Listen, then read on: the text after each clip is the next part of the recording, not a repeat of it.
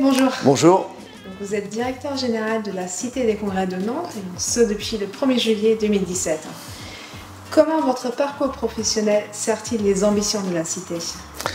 Alors, je connais bien le territoire métropolitain, j'y travaille depuis une quinzaine d'années, je suis nantais d'origine. J'ai, euh, en tant que directeur du développement économique pendant longtemps, euh, participé à la plupart des grands projets euh, territoriaux. Euh, je connais bien les filières euh, territoriales et je connais bien l'outil de la Cité des Congrès. Donc euh, tout ce mélange de, compétences bah, contribue à ce que la Cité puisse demain être un outil adapté au développement des activités congrès et aux activités économiques du territoire. Alors justement, quels sont les atouts de Nantes et de la Cité des Congrès pour l'organisation d'événements d'entreprise?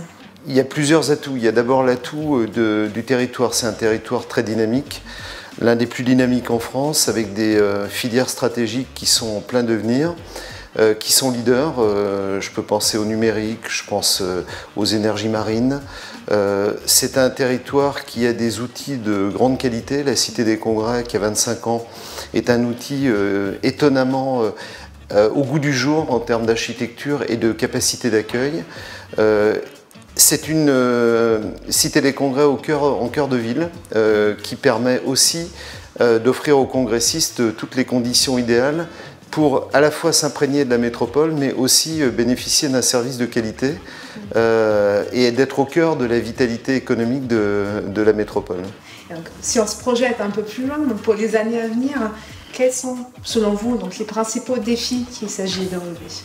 Alors, le défi principal pour la Cité des Congrès, c'est d'accompagner euh, au même rythme euh, que, la métropole euh, l'accueil de congrès et de manifestations. C'est le défi majeur. La Cité des Congrès, c'est un miroir en fait de ce qui se passe dans la métropole en termes de dynamique.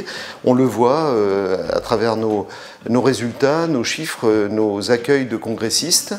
et puis l'autre enjeu majeur pour nous, c'est de jouer sur cette capacité à faire cohabiter de l'activité culturelle et de l'activité euh, économique, euh, puisqu'on a un outil qui permet de faire les deux choses euh, simultanément. Merci beaucoup, Denis. Merci.